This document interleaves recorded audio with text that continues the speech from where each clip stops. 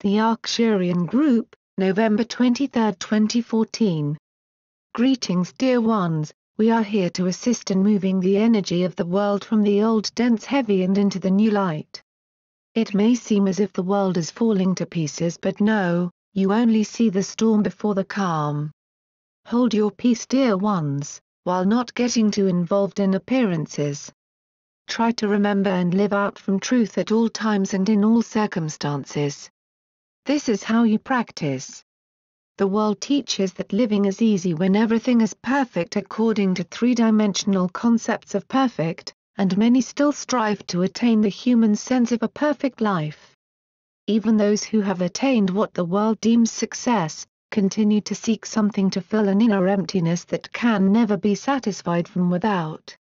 However, in the beginning stages of spiritual awakening, failure and disappointment are vital for they result in a seeking and digging deeper for answers, which in turn brings soul growth.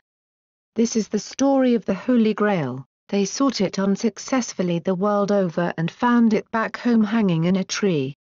Every soul longs to know and experience itself, but when an individual is ignorant of this, he seeks in the outer world of things, people, power, money, and sex. It is not meant that lives have no joy, for the energy of joy is closest to the divine.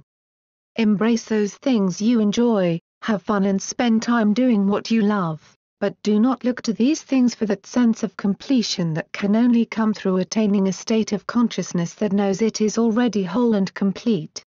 Spiritual evolution involves knowledge and then practice, translating every appearance into the spiritual reality behind it until it becomes one's attained state of consciousness.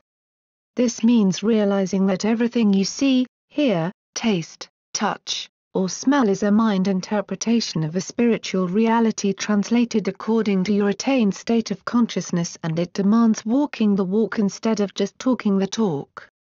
Gaia is making many changes in order to clear and shift her energy and you are going with her if you choose.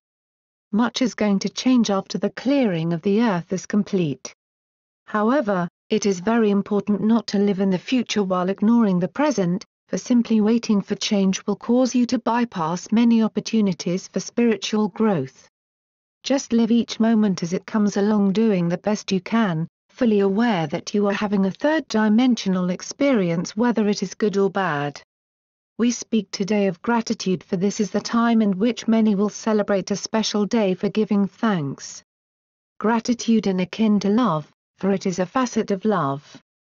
There are some who reject the idea of gratitude choosing instead to stand firm in the belief that they are entitled to every good as well as the goods of others also.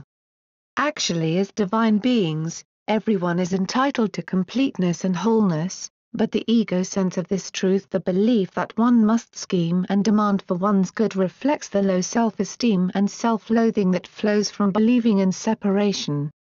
Gratitude in its truest sense, is the joyous recognition of wholeness and oneness, but in the human scene is limited to the state of consciousness of the individual which often dictates who or what deserves gratitude. Belief in separation living from a state of gratitude in each moment leads to the deeper awareness and acknowledgement that life and everything in it is already complete and whole. I have because I am. A mind filled with strong beliefs of duality and separation can only manifest duality and separation. Some days will be good, and some days bad. Because of individual past life experiences, every individual finds themselves more receptive to one or more of the particular world beliefs. This is why there are those who may experience more than the average of health-related problems. Another may have continuous relationship issues and there are those who live with unexplained and irrational fears. Specific struggles are the result of past life experiences that have programmed and then been held in an individual's energy field throughout lifetimes. These issues are now resurfacing for many in order that they once and for all be cleared and released. As evolving beings of light, you no longer need to drag these obsolete energies with you in the belief that they are personally yours, they are impersonal, comprised only of belief in them. If you believe you have nothing to give gratitude for, then you will manifest exactly that, nothing.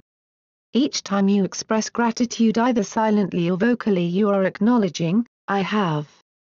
As you let flow love and gratitude, you receive love and gratitude in infinite forms and variety, for there is only one, and that which you flow is flowing to you. What do I have? Look about you, see what you have, and start pouring. On a physical level, clean out your closets, garages, and shelves, get the flow going. There is someone who could use that item sitting unused. Hoarding is the consciousness of I don't have, and never will have, and so I must hold on to whatever I can. This state of consciousness will serve to perfectly block any energy flow. Again, there is only one, and you give to yourself when you realize that everything flows from one infinite omnipresent source and not from a limited personal pocket. On the emotional level, flow support, love, and practical assistance, but always from a level of compassion and not sympathy. On the mental level flow forth truth, and assist those ready and who ask to see what you see. Expressing gratitude in every moment will develop within you a consciousness of I have which will then evolve into, I have because I am. Practice by giving gratitude for every facet of daily living, for a clean bathroom, a warm coat, a shoveled path or the ability to shovel that path. It is the small things, the song of a bird, the purr of a cat, the wag of a tail, signs of love and oneness welcomed, but often not given gratitude for. Everything can be a source of gratitude, even the difficult experiences helping you to grow and evolve for without them you would not be where you are now. Look back and see how you have grown from some of your most difficult times. Everything is for spiritual growth even if some experiences do not fit a world concept of how things should be. Nothing experienced is ever forced, each is fulfilling their pre-birth contract set up to include whatever experiences are necessary for shifting to the next level. It is time to stop complaining that this or that is not the way you think it should be and therefore there is nothing to be grateful for. All are on earth to grow and learn spiritually, realizing unconditional love while experiencing duality and separation.